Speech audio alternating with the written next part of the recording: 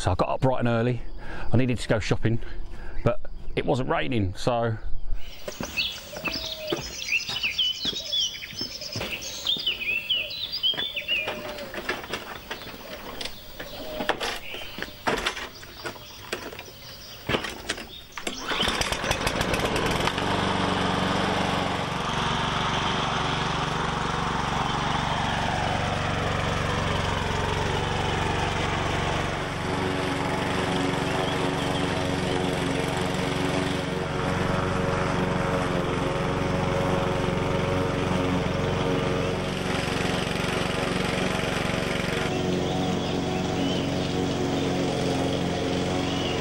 Uh, yeah, I uh, I just needed to get the garden tidy. I don't know why I'm so OCD about it.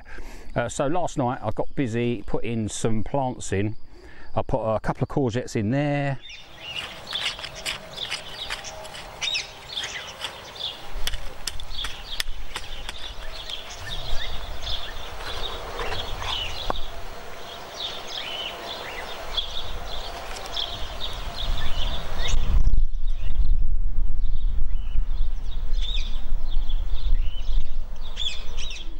More or four courgettes there. I don't know if they're too close together. They're about a foot apart, somewhere, something like that. Potatoes are doing really well. I did actually look on YouTube at um, what I should do next, and I need to start hilling them. Apparently, I need to start adding some some soil around these plants. Anyone ever done that before? So uh, anyway, they're growing all right. Um, I've got a space at the end there for some more, which I still haven't planted. I did find a um, I did find half a bag of seed potatoes, which are still in the bag and still under the stairs. Um, I got my beans in the ground. Uh, so yeah, all good. Got them there, got them there. Comfrey's doing lovely, covered in bees. Um, so yeah, the garden's looking all right. Um, I've got to say thank you to everyone for all your lovely comments. Yeah, I'm not. I'm not stressed out. I know it comes across as I'm a bit stressed out. Um, yeah, just got a lot going on really. Um, kind of underestimated the amount of um, the amount of work, amount of energy needed to do what I'm doing. Um, so uh, yeah, someone did ask me uh, about some furniture for the patio. I do have some, see, and uh, yeah, not that I invite many people around, but there is somewhere for them to sit.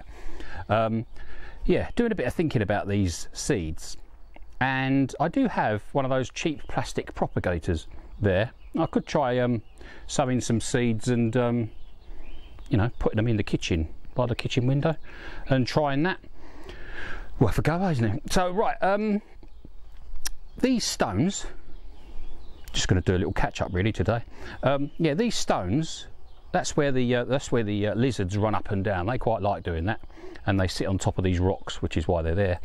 And um, yeah, the, the, little lizards are called the Spice Girls, just in case you were wondering. Um, I'm thinking about taking all those stones away and running the lawn up to the paving slabs because I quite like the way that looks because that's what I've done here and I think it looks quite nice and neat. Uh, look at all the weeds in there. That's just an embarrassment, isn't it? Oh, things like that really bug me. So uh, I've got to weed that lot. I've got a couple of um, a couple of nasturtiums to go in there, which I've left there. I did plant a couple of nasturtiums around the garden um, in there somewhere. I can't remember, but I still need to trim that hedge. So, yeah, I've still got an absolute mountain, an absolute mountain of stuff to do. Um, but you're right, just got to pace myself. And uh, yeah, there's it's not as much. There's no rush. It's um, you know another day tomorrow kind of thing. Uh, someone asked me about that door. Yeah, a few people have asked me about that door. That's the old back door um, that I uh, removed and put a new UPVC door on the house. Uh, yeah, that is oak and uh, extremely heavy and extremely broken and really just needs to uh, be got rid of really. Yeah, this area here, I could probably, someone did ask me if that uh, cold frame was in full sun.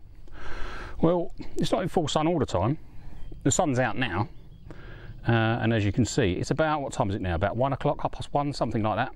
So the sun's only just coming round. So really that cold frame would probably do better somewhere else in the garden. Um, yeah, maybe behind that little fence there. I don't know. So uh, yeah, really, I um, I could do with a greenhouse. Really, really, really, really, really struggling to think about things. Uh, and I could probably put a polytunnel if I had the money. I'd put a polytunnel over there. That might be a good idea. Um, but I was over there this morning while I was mowing, thinking, I wonder if I could put some animals there that will help me look after the garden because the garden's a quarter of an acre. And when I think about everything else that needs to be looked after, yeah, this is uh, this is a bit much, really. Um, so yeah, I could put a, um, a polytunnel there somewhere, and maybe some kind of I don't know animal kind of thing. I did have an idea of putting the orchard there, but there's still got to be grass to cut, and um, yeah, so someone mentioned, a few people mentioned a ride-on mower, and I think I've got the biggest, or one of the biggest walk behind mowers you can get. You might be able to get one a couple of inches bigger, but um, yeah, I'm not sure an extra couple of inches will make much difference um, in this uh, in this situation. So yeah, maybe a, a ride-on mower. I don't know. I don't know. Um, I quite like mowing the lawn, but I've just got so much of it. So what I was going to quickly talk about is this area here. Now this area here if you're new to the channel, um, didn't quite look like this uh, when I first arrived. There was a really terrible looking fence um, that I pulled out and replaced with that. And uh, it looked, looked lovely when it was new, and now all the wood started to fade, as it would. And um, yeah, I'll uh, I'll show you some pictures. If I can find some pictures, I'll dig out a couple of pictures and show you what this area looked like when I um, when I first bought the place uh, because you couldn't actually see you couldn't actually see the side of the house uh, and I didn't actually know this bit of land was really here. I knew it was here but I didn't realize quite how big it was.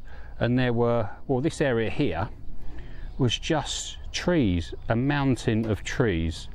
And it took well it took me hours and hours and days and days and days to um, yeah to clear it all up. And uh, so it is looking much better obviously.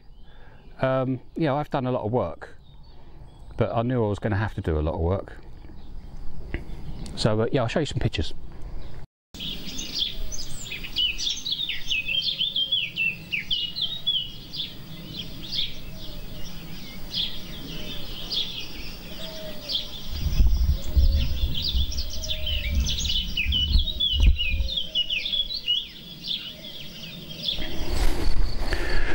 it does look like it's just about to uh, start pouring with rain so I thought I'd uh, quickly come out and say hello to Dave. Um, not sure where he is. Um, yeah give him a treat and uh, I do need to get him a get him a fresh bale of straw. Oh, he's starting to rain not good. Uh, I just want to say thank you to everyone who's uh, helped me out with my project who's donated to my project. If you want to help me out there's a link below to my uh, ko-fi.com page um, yeah if you want to help me out with my crazy little project.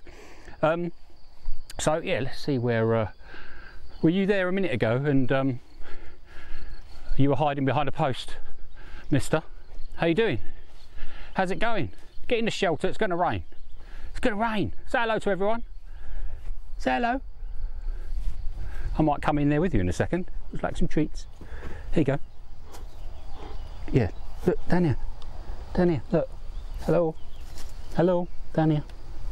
Look, look, here, here, here, left a bit, left a bit, on the floor there, look, look, look. Left a bit. Yeah, good boy. Right, we're going to get soaked now. Right, it's pouring with rain again. Uh, right, so uh, I've had quite a productive morning actually, getting the garden done before the uh, heavens have opened. Um, I might talk to my uh, neighbour's daughter, she's got some sheep, to see if she fancies uh, putting them in the field for a few hours or a couple of days. See you later.